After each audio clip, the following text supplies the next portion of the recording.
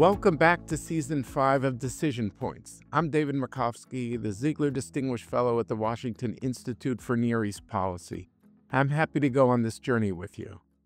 The past few weeks in the region has seen a set of actions that has at least the potential to have far reaching consequences for the Mideast. Hezbollah, the crown jewel of Iran's proxy network, has suffered a devastating blow.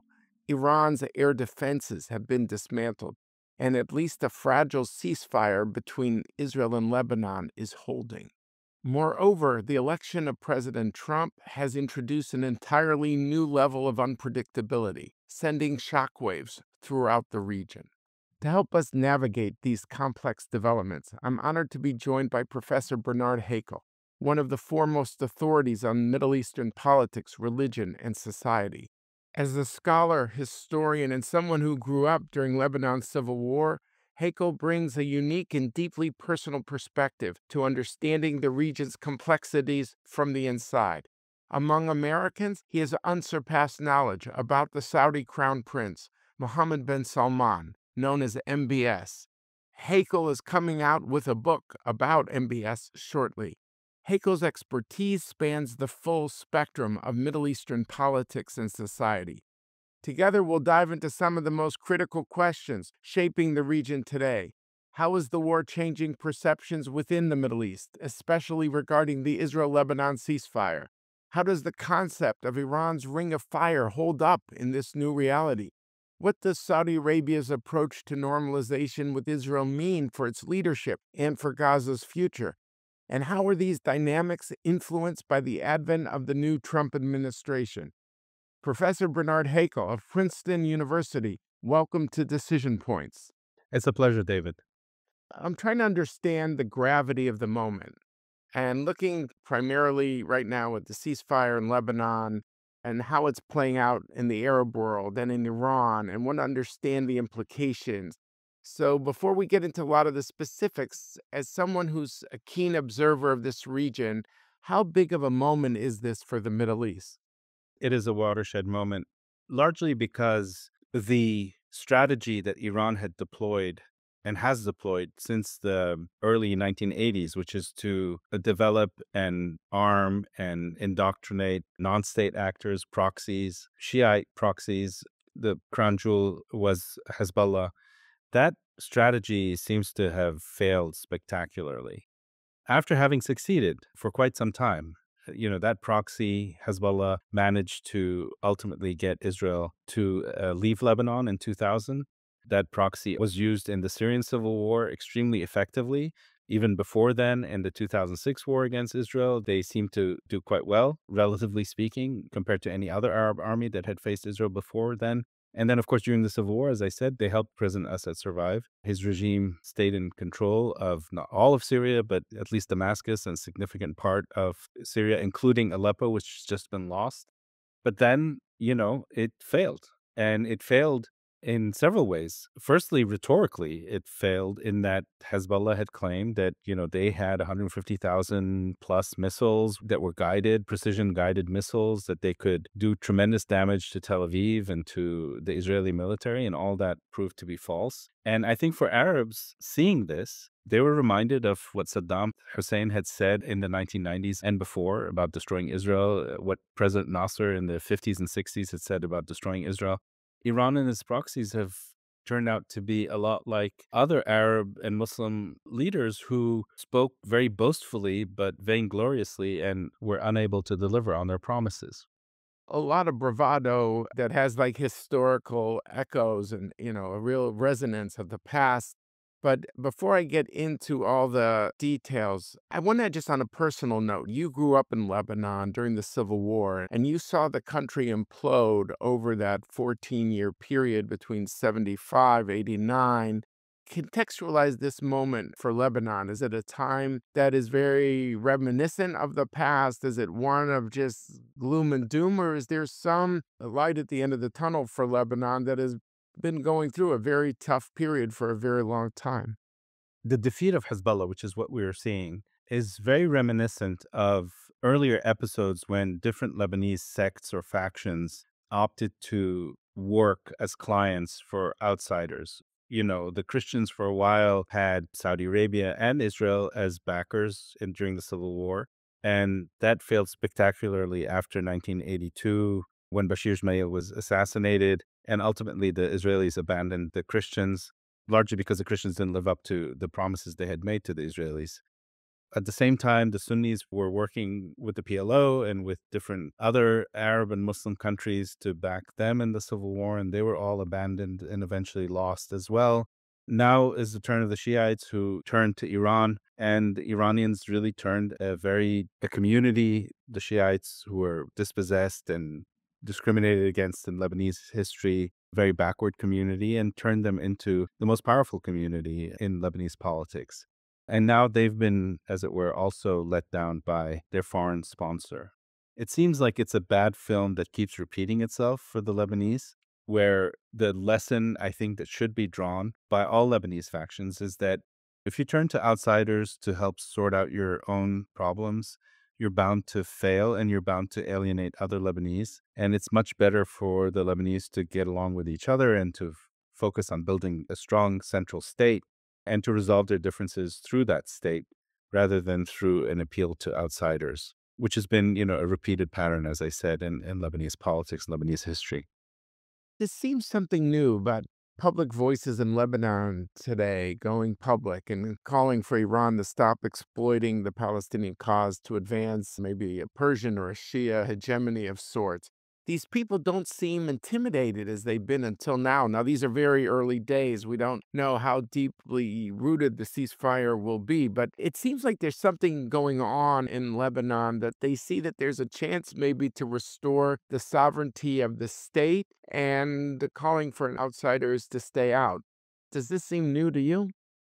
Not really, unfortunately. Again, there are Lebanese who have always been critical of other Lebanese for working for outsiders. Basically, what you're seeing now with the criticism of Hezbollah and of Iran is the fear barrier having fallen.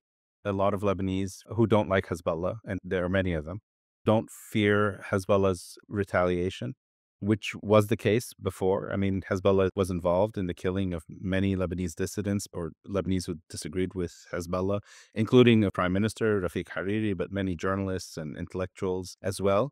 And I suspect now that Hezbollah has been seen to have been weakened and to no longer be what it once was, people are not afraid of it, which is why you're seeing this kind of criticism. Now, if Hezbollah manages to get its act together and resort to violence against fellow Lebanese, you'll probably see a quieting down of these voices. Again, I don't think that this is something new. It's more a reflection of the changing power dynamics within Lebanese society. How do you think the Lebanese should best use this moment to ensure that an Iranian proxy, Hezbollah, albeit with roots in the Shia community, of course, in Lebanon, is there something the Lebanese can do themselves to ensure that Hezbollah is not able to uh, intimidate again? Because it seems like the people who fire the shots there call the shots. There are a lot of Lebanese who would like the institutions of state, beginning with the army, to reestablish its writ and its power over the entire territory. I'm not sure that the army can do this, largely because the army is also consists of different Lebanese sects who would be very reticent to go after one sect and not another. And the institutions of the state have to be reconsolidated and rebuilt. You also have a major economic problem in the country as well. You know, more than half the population is below the poverty line. And I don't see leadership in Lebanon, national leadership that's able to reconstitute either the army or the state. I hope I'm wrong. And I do think that Iran now is confronted with a choice between trying to rebuild the proxy powers that have been weakened and or go for a nuclear option, you know, race to a bomb. My bet is that the Iranians will not race to a bomb and will try to rebuild what they've lost because they have huge sunk costs in a movement like Hezbollah, and they're not likely to abandon it just because it was weakened, you know, over the last few months. They will try to reconstitute it. I asked you about the Lebanese armed forces because this ceasefire seems all predicated on the idea that you could enhance the capacity of what's known as the LAF, the Lebanese armed forces. But capacity only seems to work if there's political will to confront Hezbollah. And uh, if there's no will, it's unclear to me capacity will, will make a difference. If It's about capacity. The world can help the LAF in this regard, but can it help it with will in confronting Hezbollah? If going after Hezbollah is interpreted as going after the Shiite community in the country, then you won't be able to succeed because you'll alienate most Shiites and they will side with Hezbollah against the Lebanese army and against the Lebanese state. So it has to be done in an incredibly sophisticated and intelligent and gentle way to keep most Shiites on side and to make a distinction between Hezbollah and the Shiites. And I'm not sure that can be pulled off. I mean, that's a feat of political acrobatics that is very difficult to do you know, if you had the right leader, if you had a charismatic Lebanese leader or president who could navigate the sectarian minefield that is Lebanon, then maybe, but I, I don't see that person in the country. Is there a template if you were to say, to do this, to thread this needle, it would require leadership like who? What would be your roadmap for this? There is in Lebanese history a leader, a former actually army general as well, called Fuad Shehab, who was president, who built the institutions of the state and was non sectarian in his approach to running the country. But I don't see a Fuad Shehab character often in Lebanon, you get people who say, you know, we need a strong man. We need an MBS like figure, you know, Mohammed bin Salman, Crown Prince of Saudi Arabia type figure in the country to kind of crack the whip and impose the law and fight corruption and put everyone in prison that's been feeding at the trough and destroying the institutions of the state. But I don't see such a figure in Lebanon, frankly this is pretty sobering what you're saying, which is that the U.S. has kind of bet the ceasefire on this mechanism of restoring state sovereignty for Lebanon, increasing the capacity of the LAF in the south below the Litani. And you're saying not so fast. It might not happen because anything against Hezbollah is going to be seen as anti Shia. And a lot of the people in the LAF are Shia themselves. Correct. At least half the army is Shia. And they're not going to fight Hezbollah if Hezbollah is seen as representing the Shia. So I think it's still early days. We'll see. We'll see what also Iran plans to do. And I wouldn't be sanguine and optimistic about Lebanon, frankly. If you were to say like Hezbollah's road back to power, because I'm trying to understand how bad of a blow is Hezbollah suffered. Is it a function just of Iran giving it weapons, or is it like, look, David, it's not so easy. Look at all these people. The economy's ruined. There's parts of the country are ruined. The, the salaries are not going to be there the way they were you know, Hezbollah is going to have lost a lot of street cred with the Shia themselves. Look, Iran might be distracted with what's going on in Syria, for example, not being able to focus on Lebanon given the fights between Assad and the rebels. Maybe the Iranians, they've got an eye towards a new Trump administration and feel cornered in a certain way given what Israel has done, destroyed their air defenses. They're going to be going for a more diplomatic approach on the nuclear issue and don't count on Iran to suddenly just put the rewind button and, and just say, here, we're just going to ply you with all this weapons and you'll be back in business like you were before. Also, I mean, I think there's a crucial difference between the war in 2006, when a lot of destruction happened in Lebanon, and the present situation. In 2006, you know, when the Shiites in Lebanon took the brunt of the Israeli attack, Lots of the southern neighborhood Dahiya of Beirut was destroyed, leveled, and a lot of villages and so on. After that war, the Qataris and various Arab countries, Kuwait and so on, I think even the Saudis put a lot of money into the reconstruction of those areas. They're not there now.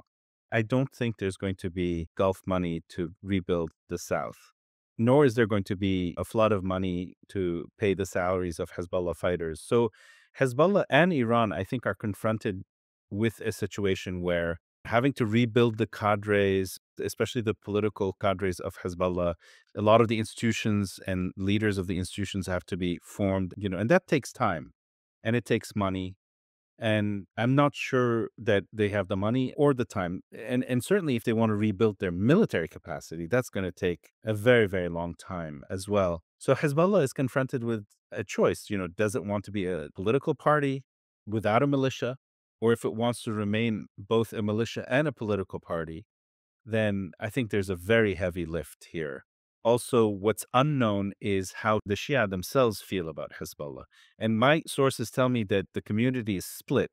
Many Shia, half at least, feel that they paid a very high price for Iran to project its influence in the region and to act as a form of deterrence against an attack on Iran itself at the expense of the Shiite community in Lebanon. And the other half still is committed to Hezbollah and is pretending that this is a great victory and that there was no defeat.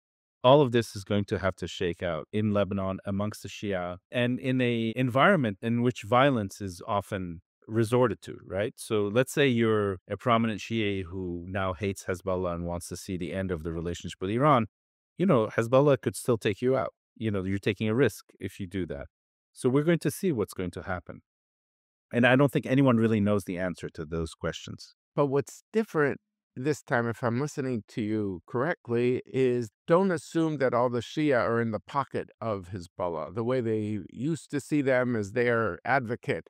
They've also seen them as a liability, not just as an asset, in terms of all the dislocation, the economic catastrophe, the military devastation. Uh, but and in your view, that is like a prerequisite that the Shia are not reflexively pro Hezbollah. That at least gives you a chance. Am I right? Yes, I agree. I don't think that the Shia are all reflexively pro Hezbollah at this moment. Also, Hezbollah has lost something very precious, which is that it had the benefit of people believing in its political rhetoric and in its promises to defend Lebanon and to inflict a very heavy blow on Israel should Israel ever decide to engage in an all out attack on Lebanon. And that has proven to be false. Once you lose that aura of invincibility or at least parity with Israel, you know, you've lost the trust of people and the confidence that you can defend them. And that's not something that can be easily rebuilt and brought back. I remember a conversation I had with Fouad Ajami, this great analyst of the Arab world. We used to teach together at Johns Hopkins Graduate School called SAIS, and we were talking after the 2006 war, and he said, David, just know that when you give money to people, in, and he's from this village, Arnoun in southern Lebanon, he said, when you give money to people to rebuild their house, they will trust you once, but if this happens again, it's very different. Yeah, and it's happened also again in very different circumstances where Lebanon is on its knees economically and where the money to rebuild these destroyed homes and infrastructure is not there.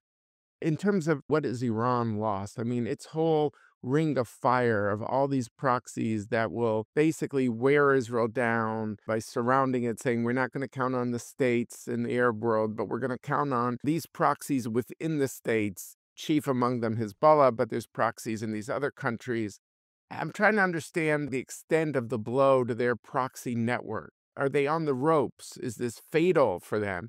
Or can Iran restore its proxy network? What will it take? And I think, you know, as I listen to you, also, like it just seems that for Iran to restore deterrence, it's either rebuild the proxy network accelerate the nuclear program. Those seem to be two of the leading options. So let's just look at the proxy option.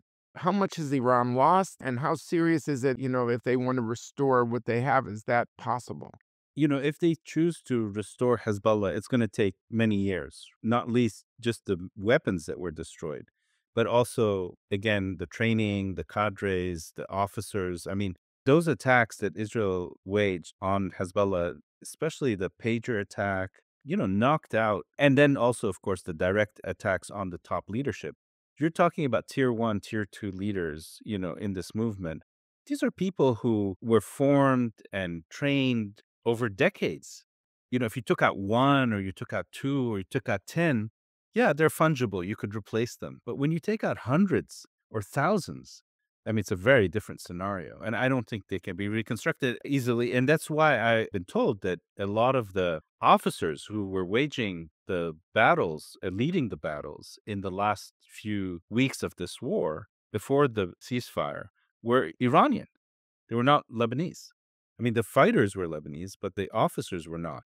And that tells me that, you know, if it's true, which I suspect it is, that tells me that the leadership of Hezbollah has been decimated. And the present leader of Hezbollah, the Secretary General, you know, is a very marginal figure and someone without any of the charisma and any of the capacities that were there before. he wasn't a security guy at all, right? I mean, he dealt with domestic, local issues that are economic and things like that. I mean, he was not a charismatic security figure. We're not talking Qasem Soleimani or Hassan Nasrallah at all. Correct. And I think, you know, one piece of evidence for the weakness of Iran and its proxy network is the incredible kind of victory that we're seeing in Syria now by different Syrian opposition factions, including, you know, Tahrir al-Sham, this HTS movement that is a Islamist movement. You don't have Hezbollah fighters, you don't have Iranian Revolutionary Guards in Aleppo to defend it. And so we're seeing the effects of the war in Lebanon in Syria now it's one of the reasons for the victories that we've seen for the opposition. It's clear that they waited until the ceasefire and saying, okay, you know, Iran is distracted, Russia's distracted, and Hezbollah is isolated, and they were fighting us in Syria. This is the time to restore the offensive against Hafiz al Assad. Yeah, exactly. But your view is that Iran has a lot of sunken costs in its proxy network. If they don't accelerate the nuclear program, you do think that might be a very uphill battle and Hezbollah's leadership is decimated, but you think Iran will invariably revert back to that strategy to try to restore that network, believing it's their best card to play. Is that right? Yeah, I think so. You also have to remember that Iran, despite the blows that it has received, both against Hezbollah, the militias in Iraq and Syria, including also the Houthis in Yemen, and Hamas in Gaza, you have to remember that Iran still has a formidable arsenal in the Persian Gulf. They could still easily disrupt oil shipments, maritime trade in the Persian Gulf, and also in the Arabian Sea with the Houthis in Yemen. So, you know, yes, they're on their back foot, but as of now, we don't see like a complete knockout of the Iranians. They're down, but not out, so to speak. Correct you know, you look at what happened on October 26 when Israel knocked out Iran's air defense network. It seems like the S 300 didn't lay a finger on 140 Israeli planes that wreaked damage by flying, if not in Iranian airspace, in Iraqi airspace. You know, when you don't have air defenses, when you don't have ballistic missile manufacturing, I'm trying to pursue how weak is Iran. I take your point that they're down and not out. You mentioned references to Nasser and Saddam, who famously called for Israel's destruction, and they themselves were the ones who suffered defeat. I'm just wondering is this a brittle regime? I think for Israel, there's a trauma of, of 1982 in Lebanon where it's very hard to socially engineer an Arab country when you're a Jewish state. Israel has pretty much disavowed that since that 82 experience with Bashar Gemayel on the Christian community. Or do you think that, look, this is a unique moment in time, David, it'll never get better than this, given Iran having no air defenses, Hezbollah, the famous second strike threat perched on Israel's border, they are a shadow of what they were. Do you think the idea of regime change from the outside is something that should not be totally discounted and dismissed because we're at this very unique moment. So I'm told by different people that I've spoken to that Israel has decided that a state policy, one of its strategic goals today is to actually go after the Iranian regime and perhaps even to engage in regime change. So is Prime Minister Netanyahu going to decide to do that? How would he do that? What would it take to accomplish that and what would you have you know in place of this regime? So i think the israelis are probably going to go after the iranians again. Certainly the rulers in the gulf in the uae and in saudi arabia are worried about this and they think that this is a golden opportunity. Israel will do it. They don't necessarily think israel should do it. They think israel will do it not least because they're going to get American support for it. And in any case, they have the capacity to do it regardless of the Americans. That's the Gulf view. My sense of the Iranians is that they sent their foreign minister around the region before the last Israeli attack. I believe their foreign minister was in Riyadh around October 7th. And what was interesting about this Iranian visit was that essentially the Iranians said that if the Israelis attack our oil facilities, our oil installations, we're going to attack your oil facilities in the Gulf. Right? So, in other words, if the regime is existentially threatened, we're going to sow mayhem and wreak havoc in the Gulf by attacking Saudi Arabia and UAE and so on. And that's something that really scares the Gulf countries, not just because, you know, knocking out their oil installations would set them back and it would take months to rebuild their capacity. It would also cause mayhem in the global economy. But more dangerously for the Gulf is that if the Iranians decide to go after the desalination plants, the plants that desalinate salt water and produce fresh water for their populations, that could really be extremely devastating yeah, for them. So the Gulf regimes, whether Saudi, UAE, Kuwait, don't want an all out war with Iran because the Iranians are capable of doing this if they're existentially threatened. I always worry about the question of regime change, not only because you don't know what can happen if that takes place, it can be very messy. Iran is a very big country with lots of people. You get something much, much worse without this regime. My view would be to go back to that question that Henry Kissinger posed, which is Iran has to decide whether it's a nation or a cause. And I think if you can get the Iranian leadership to stop being a cause and become and act more like a nation through containment, through sanctions, through the threat of violence and war, that would be a better option than trying to topple the regime itself. You're the rare person who actually did your dissertation at Oxford on Salafism in early Yemen. And I think it's not understood why the Houthis today in Yemen are so dedicated to firing on Israel. They're so far away. Yes, you could say so is Iran. They're also far away. There's no shared border, there's nothing disputed, nothing contiguous to fight over. But I think on their flag, it's kill America, kill Jews, why are the Houthis so dedicated, and what could be done in this regard? To state the obvious, they've also been very disruptive when it comes to free shipping, that traffic has to go around the Suez Canal in a way that was thought unthinkable, how this Yemeni rebel group has wreaked so much havoc in the Middle East. So, Yemen is a very complicated country, and I don't want to get into the weeds or inside baseball with your audience and lose them. So let me try to explain it as simply as possible. So the Houthis, this rebel movement in Yemen, represents a particular group in society. They are people who claim descent from the Prophet Muhammad. So they're called Sayyids in Yemen, which means masters in Arabic. And they're about 5 to 7% of the population. This is a movement that's led by these people, and they have a particular ideology which represents a break with the past, with their own religious past and this group wants to stay in power, right? So very often when you look at Middle Eastern politics, you have to think about who is it that is seeking power? What's their social base? Who do they represent in society? And how are they trying to get power and then keep it and hold on to it? So, this particular group wants to stay in power in Yemen, and they're a minority in their own society. One of the ways in which they acquire legitimacy is to engage in an ideology against America, an anti imperialism, against Israel, but also against Jews. On their banner, one of the things they repeat is a curse to all Jews.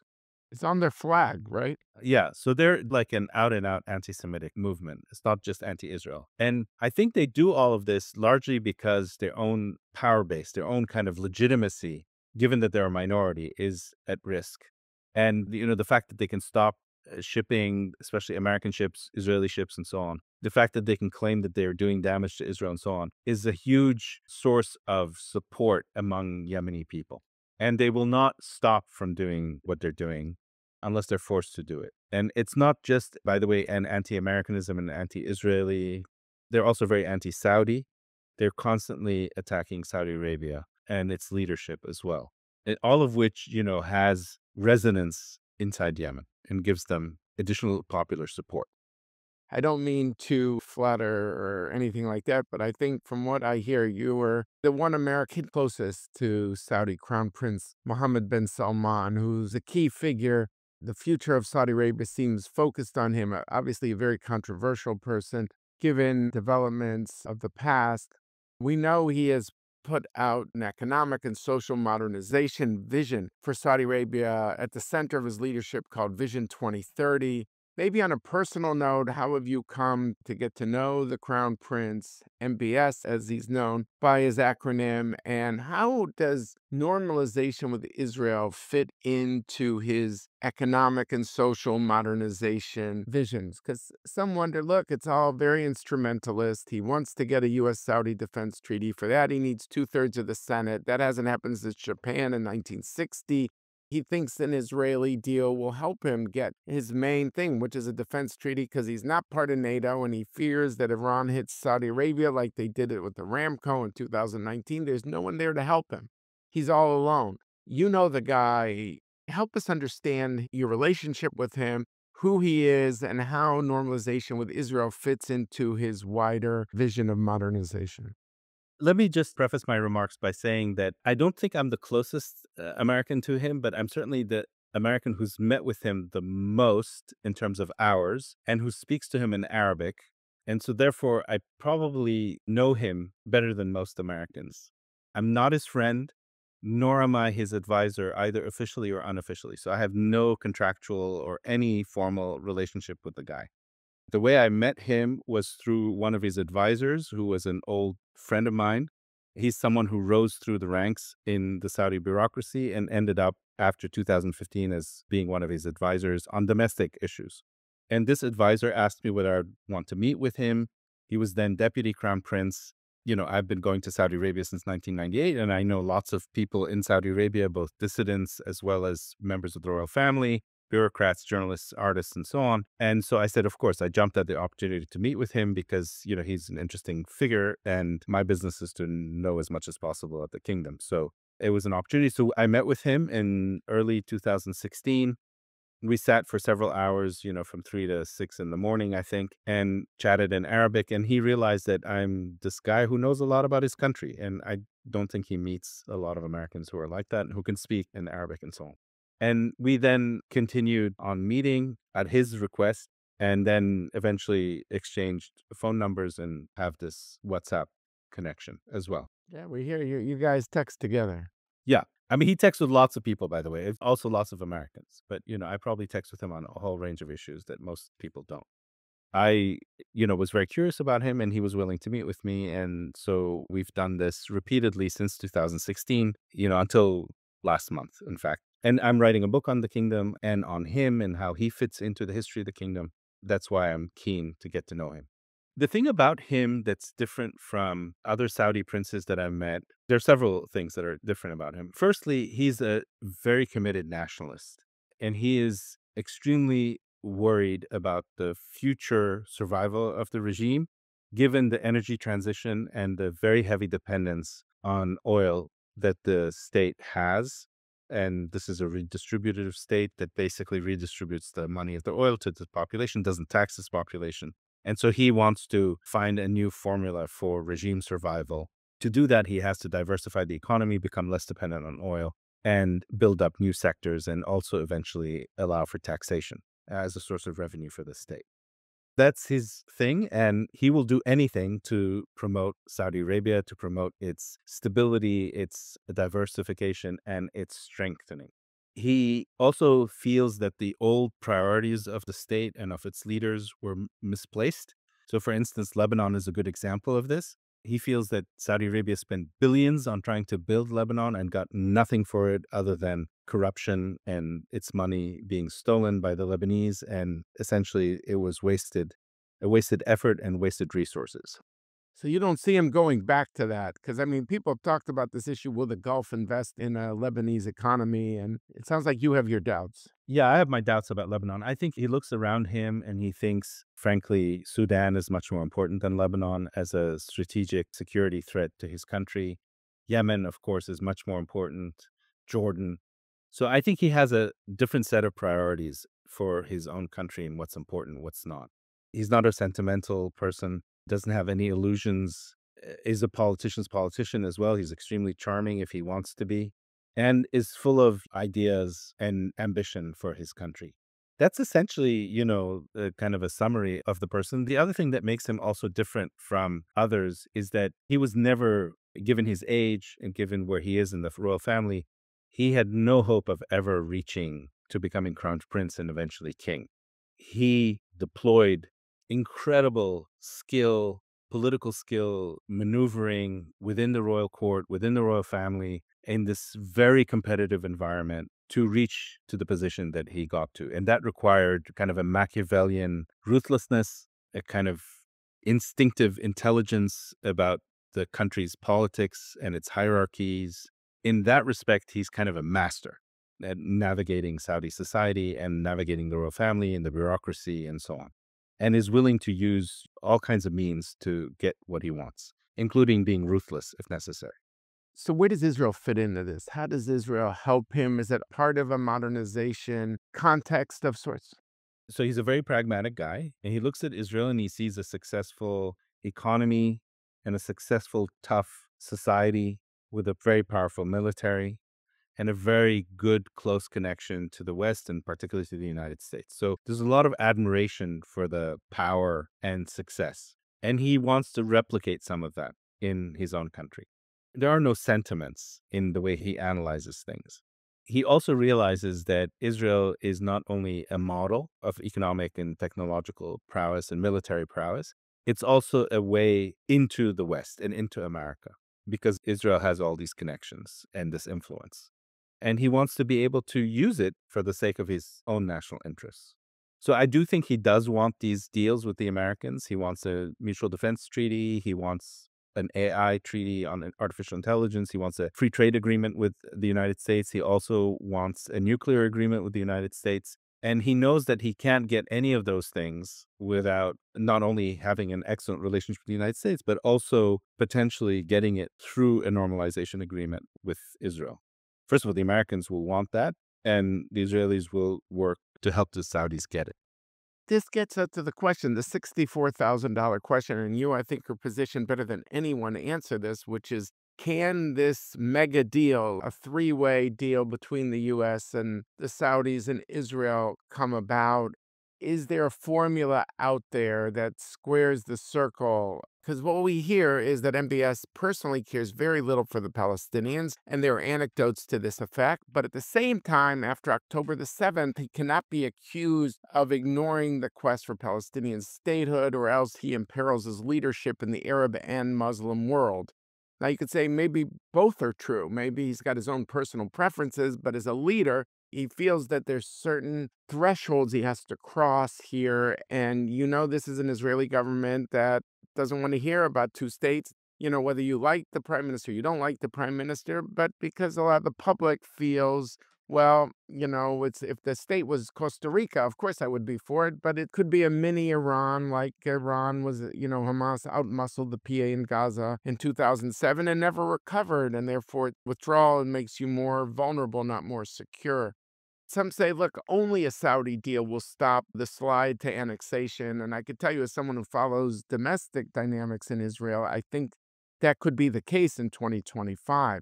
But I just wonder do you see this as something very much on the table? There's the Reuters story the other day saying Saudi Arabia's had second thoughts about the treaty and the normalization. And we don't know if that is because how they read the Israeli government or it's because they want to tell Trump, we're not in your pocket but it's more of an opening negotiating position. So if you had to bet in 2025, how likely is such a diplomatic breakthrough between Saudi Arabia and Israel? How possible is it in your mind? I think it is possible because the Saudis want it, the Israelis want it. The question is whether they can agree to what the terms will be. I think the Saudis and MBS in particular, it's true. I don't think he has much respect for the Palestinian leadership of the PA and generally of Palestinian leaders going back generations because he feels that they didn't serve the Palestinian people. They were often corrupt and unwilling to make any sacrifices, you know, for the sake of their own people. And he doesn't respect them for that. I also think that MBS, however, has come to the realization that the Palestinian issue is not just important for itself, like for what it means for the Palestinians. It's important because as long as it's not resolved in some way, what that way is is open to negotiation.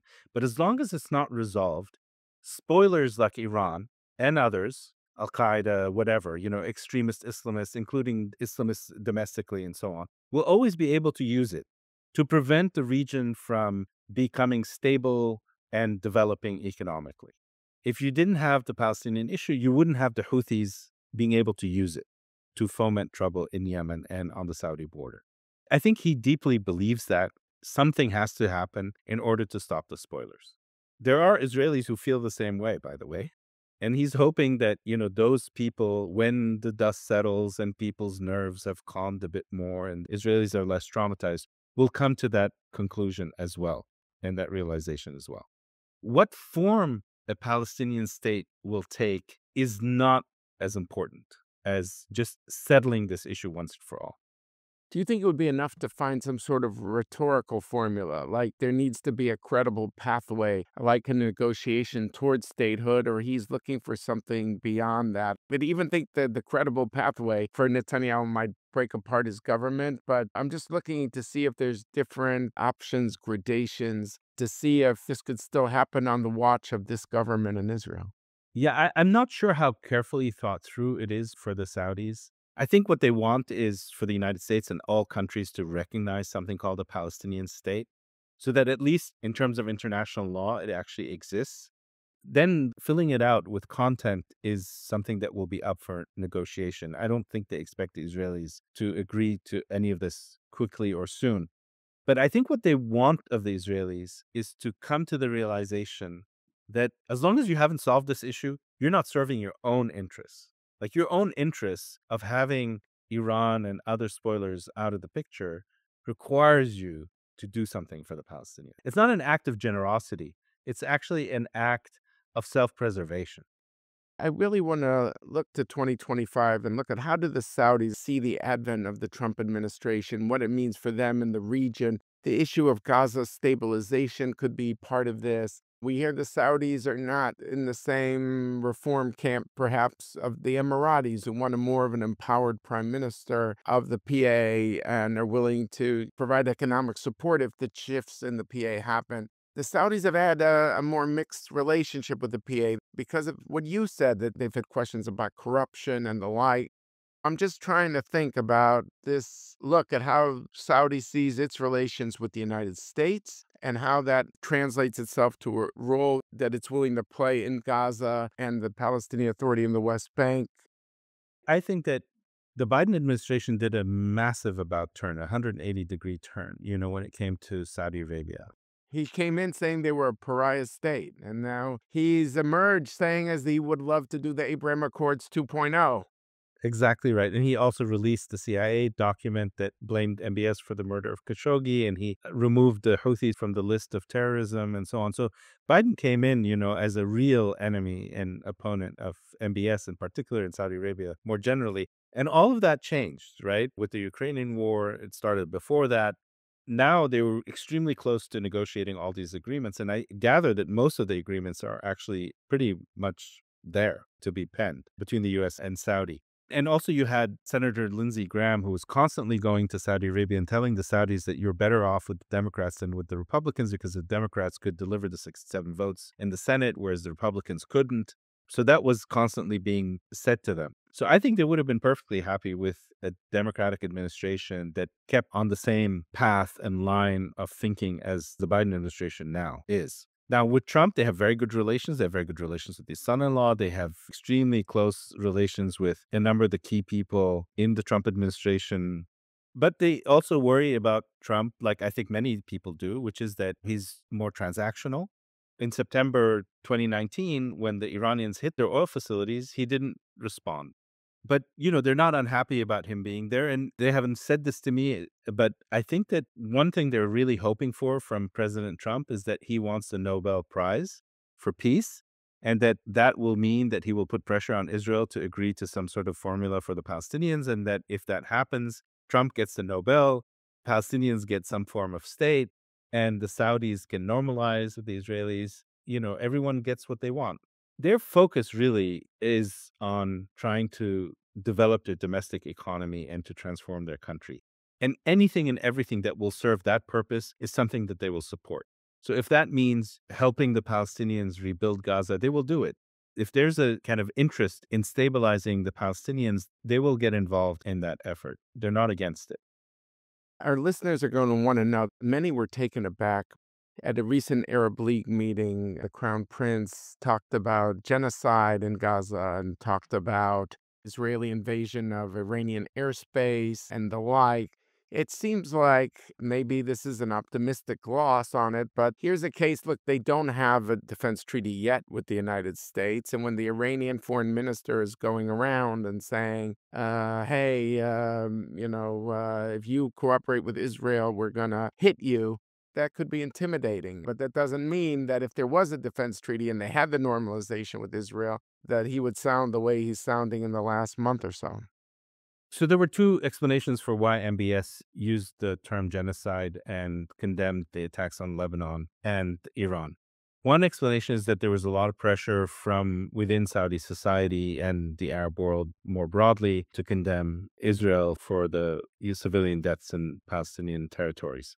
It's possible as one reason, although I think the more likely reason, in my opinion, is that the threat from Iran is very real. The threat from Iran on Saudi oil and other infrastructure like desalination and so on is quite real. And I think MBS is quite keen to signal to the Iranians and to underscore the neutrality of Saudi Arabia, that Saudi Arabia will not help the Israelis or the Americans in any regime change, all out war effort against Iran. Because frankly, the Iranians can do tremendous damage to him. He doesn't want that, given, you know, what he's already experienced with the Houthis with thousands of rockets and missiles and drones from the Houthis. That's my explanation of the situation. And there's no downside to this, you know, given that there's an unlikely treaty to be signed anytime soon. So, if you had to say, though, as we sum up, Trump, the Nobel Prize, and a Saudi mega deal that is something that has a lot of appeal to MBS. Am I right to say he also feels a certain affinity with Jared Kushner, who, you know, is invested in his funds for sure, but that they have some sort of a relationship that whether Kushner joins the government or does not join the government, that if there's going to be an Abraham Accords 2.0 and this is going to be the Super Bowl of all peace treaties, this is something that he very much wants. If the, you can get the 67 votes, which might be harder, as Lindsey Graham suggests, without a Democratic president. Yeah, I think that what MBS wants is a victory and a win for Saudi Arabia. So, you know, whatever he does, it has to be framed that he has accomplished something for Saudi Arabia that no other king before him has ever been able to accomplish because the Saudis have never had a treaty with the United States or any of the other things that he wants, uh, you know, AI and nuclear and so on. That's the way he's going to frame it. I don't think it's about friendship or about relations with Jared or anyone else. You know, all politics is local and he cares deeply about how he's seen by Saudis and he wants a win for them. And that is how he's going to frame and explain any deal that he does, whether with the United States or with Israel. I want to thank you so much for this very wide ranging conversation dealing with the here and now of the Lebanon ceasefire and what it means for the region, and for your thoughts and insights on a range of topics relating to Mohammed bin Salman of Saudi Arabia, You've truly enriched us in understanding a lot of these dynamics that are so obscure to many around the world. And this was very helpful. I just want to thank you so much, Professor Bernard Haykel, a Middle East scholar at Princeton University. Thank you so much for joining us today on Decision Points. Thank you, David. It's an honor. Today, we explored some of the most critical dynamics shaping the Middle East in the wake of the recent war. Hezbollah's leadership has been decimated, its elite operatives, formed and trained over decades, eliminated, and rebuilding will take years, even with Iran's support.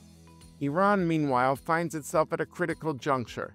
Its proxy network has suffered severe blows, from Syria to Lebanon, compounded by the loss of air defense systems and ballistic missile capabilities following Israel's October 26 strikes. While Iran retains disruptive potential in the Persian Gulf and across the East, it is undeniably on its back foot. Today, Iran faces a fundamental decision rebuild its proxies or shift its focus and even accelerate towards a nuclear bomb. Or just maybe, facing all these blows and more economic pressure ahead from the US, does it take a step back and become less destabilizing? We might recall former Secretary of State Henry Kissinger's question Will Iran decide to be a nation instead of a cause? Turning to Saudi Arabia, we examined Crown Prince Mohammed bin Salman's vision for the future. A committed nationalist, MBS is acutely aware of the risk tied to Saudi dependence on oil and is maneuvering to diversify its economy under its Vision 2030. At the same time, he faces growing pressures to address the Palestinian issue, at least in some form, in a potential mega deal with Israel and the United States. As we look ahead to the return of a Trump administration, Saudi leaders express a mix of cautious optimism and concern. They see Trump as a transactional figure, but hope his desire for a legacy defining achievement, such as a Nobel Prize for Peace, could push him to a mega deal this means a U.S. Saudi defense treaty, a Saudi Israeli normalization deal, but it would involve some pressure on the current coalition in Jerusalem to at least take some declarative steps down the road towards a two state solution. The Saudis' involvement in stabilizing the Palestinian issue will likely depend on the alignment of their national interests with a broader peace plan. Thus, the Middle East stands at a crossroads with powerful actors reevaluating their strategies and priorities. The choices made in the coming months by Washington, Jerusalem, Riyadh, and Tehran will shape the region's future. I want to thank my listeners all over the world for listening to another episode of Decision Points. Thank you to my dedicated team of research assistants at the Washington Institute for Near East Policy. I want to thank Rena Gabber, Simone Seidmayer, Sydney Hilbush, and Gabriel Epstein. I also want to thank Rob, Hadia, and the production team at Podville Media, and listeners like yourselves for making this podcast possible. Please leave us a five star review so we can continue to grow this community. Subscribe to Decision Points on Apple Podcasts, Spotify, Acast, or wherever you get your podcasts. And if you're on WhatsApp, X, or a variety of social media platforms, I invite you to share this show with your friends. To our listeners from all over the world, thank you for listening to this season of Decision Points.